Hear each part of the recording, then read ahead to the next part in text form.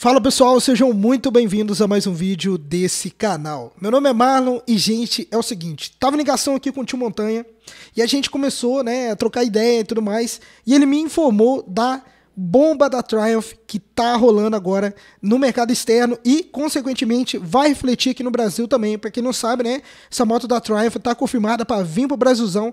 A gente tá falando da Speed 400. Messi, dá um salve aí pra galera, por favor. Salve, nação duas rodas. Tudo bom com vocês, meus queridos? Então, gente, esse vídeo vai ser sem corte, tá? Vai ser um vídeo mais direto, dinâmico. Porque a gente tava em ligação, eu falei, Messi, vamos gravar? O que, que você acha? Vamos fazer um podcast que é ou não é, Messi? Isso aí, isso aí. O Marlon teve essa ideia legal aí. Então, se vocês gostarem desse formato de vídeo, deixa aqui embaixo que a gente sempre vai fazer um podcast em lives, em aqui em chamadas, pra gente discutir mais sobre essas motos, as notícias do momento, beleza, pessoal? Então é isso, tá? Vamos falar hoje da Speed 400. Messi, o que, que você tem para falar dessa moto? Fala para nós aí. Gente, é revolucionária. É uma moto que nós nunca no mínimo, né? tivemos né? aqui no Brasil. Exato, é. Nunca tivemos essa tecnologia numa moto de 400 cilindradas aqui no Brasil. MT-03 e Z400 são motos top, mas estão longe de ter essa tecnologia. E o principal, um preço, de repente, ultra super acessível. Esse que é o grande tchan do negócio. É verdade. E, e, e uma coisa que eu já que eu vou mostrar para vocês, tá? Tudo certinho, mas uma coisa que essas marcas que estão chegando no Brasil com preço competitivo, com motos de qualidade absurda, só mostra pra gente o quanto a gente foi lesado a vida inteira a pensar, a ter essa síndrome, sabe? Essa síndrome de vira-lata por aceitar qualquer coisa e a gente achar que tá fazendo um excelente negócio. Pra você ter uma ideia, essa moto da Triumph é uma moto que é muito, muito equipada, muito atualizada, e vai e lá na Índia chegou num PPS ridiculamente baixo. Eu não tenho, não tenho o que dizer, cara. É uma moto que chegou com PPS ridiculamente baixo, não tem, não tem o que falar, é ou não é, mesmo? Exatamente.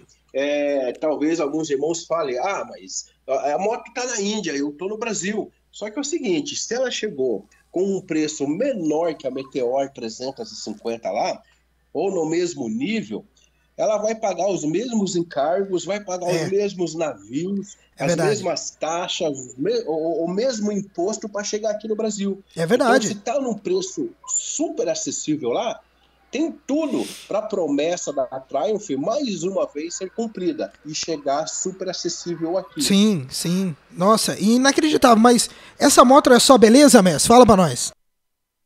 Não, essa moto é muito requintada. Além do visual maravilhoso, visual que chega a brilhar nos olhos, a moto ela vem com uma tecnologia que nós não temos aqui na, nesse segmento ainda. É, é o controle eletrônico de, do acelerador, controle de tração, a, a suspensão invertida na dianteira, Sim. suspensão a gás na traseira. Meu Deus é, do céu. Porta USB, full LED. Não, não tenho o que dizer. É, a moto é, é sensacional. Sensacional.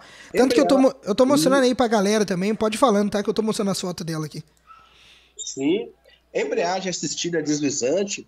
Você vê, nem, nem MT-03, nem Z400 tem esses detalhes. São motos top, mas não tem esses detalhes. Não mesmo. E é uma moto que, assim, aqui no Brasil, na questão. Ah, lógico, as, as motos da Royal Enfield também são é, muito bonitas.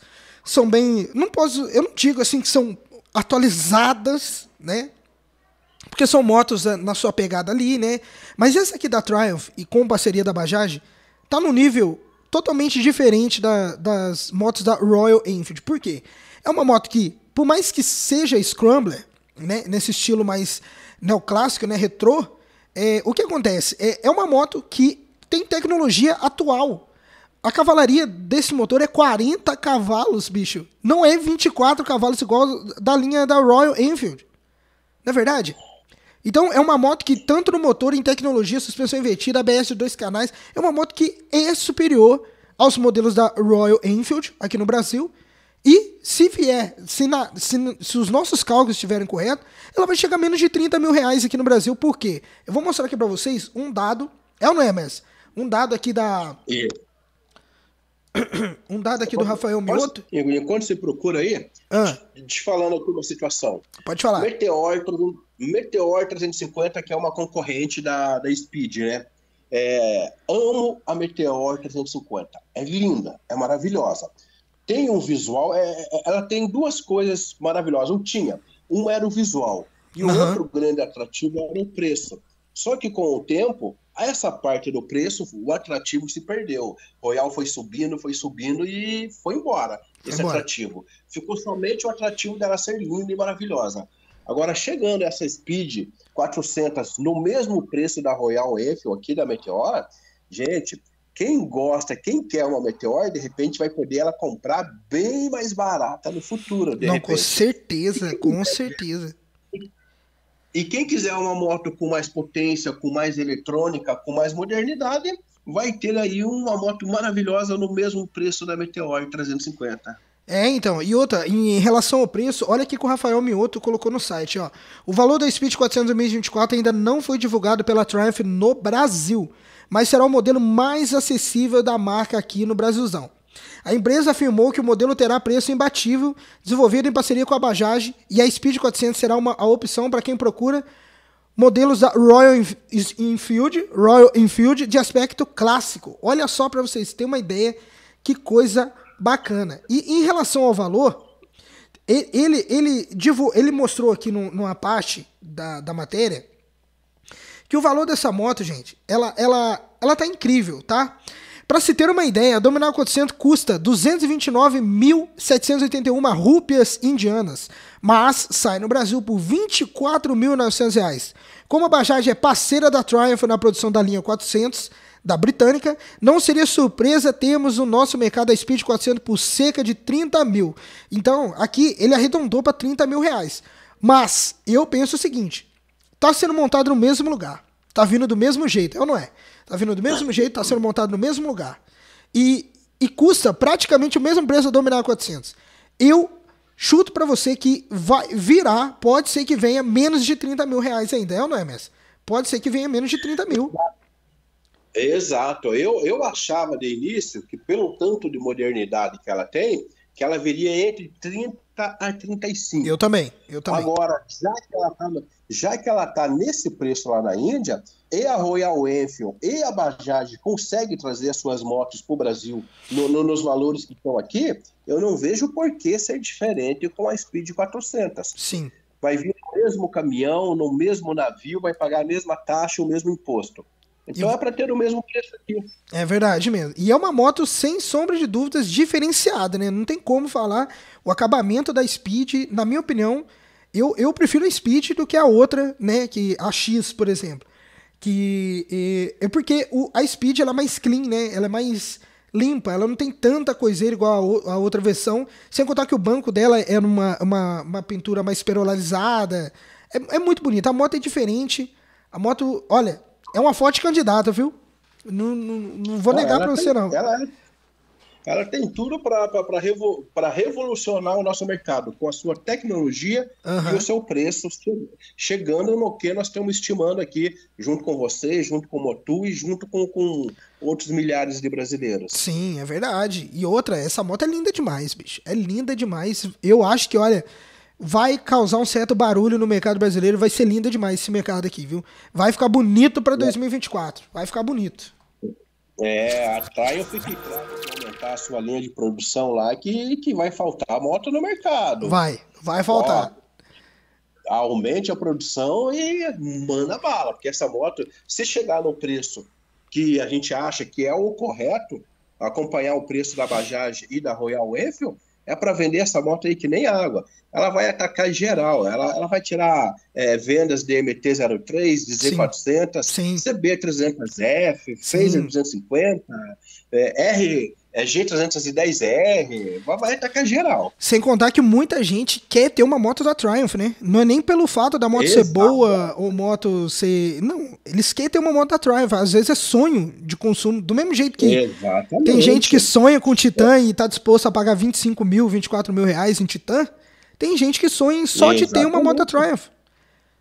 Né? Você vê, é, é, é uma moto premium com o preço de uma moto popular, praticamente. É verdade. E é uma coisa que eu, que, que, eu, que eu falava desde 2020, que isso começaria a acontecer no Brasil, quando a Bajaj chegasse aqui de a gente ver motos de classe mundial com preço de moto popular. É verdade mesmo, é verdade mesmo. Você tem toda a razão, toda a razão. Isso, é, isso não é uma realidade da Bajaj.